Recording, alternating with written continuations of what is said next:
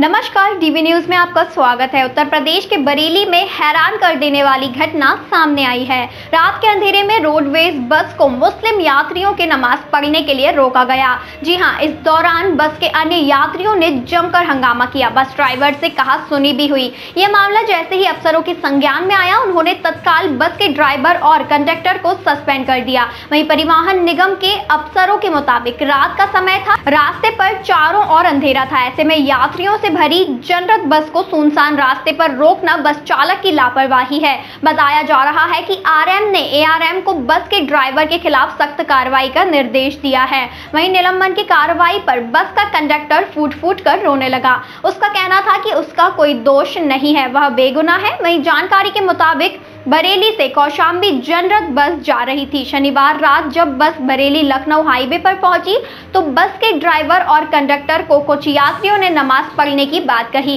इस पर बस चालक ने रास्ते के किनारे बस खड़ी कर दी। इसके बाद कुछ लोगों ने नमाज़ पढ़ी। वहीं कुछ यात्रियों ने इसका विरोध किया।